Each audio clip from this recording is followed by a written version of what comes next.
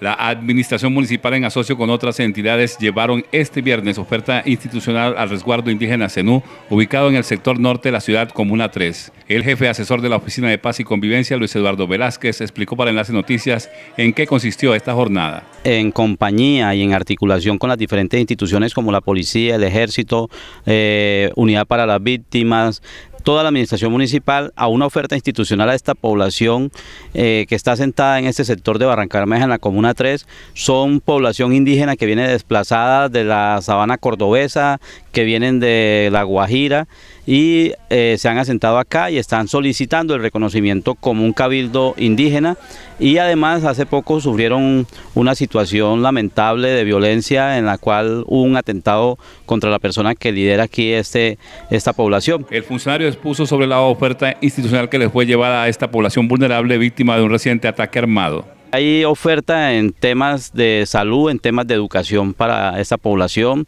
Eh, se le hace oferta también desde el FORCA en temas de que puedan establecer una, eh, una acción económica que puedan ellos realizar y que el FORCA los pueda apoyar. Desde el Paz y Convivencia, lo que tiene que ver el enlace eh, para las víctimas, toda vez que ellos son desplazados, son víctimas del conflicto armado y hoy tienen una connotación especial como indígenas de nuestro país. Además de la alcaldía municipal de esta oferta institucional, también hizo parte la Policía Nacional, el Ejército, el Instituto Colombiano de Bienestar Familiar, entre otras instituciones de carácter oficial.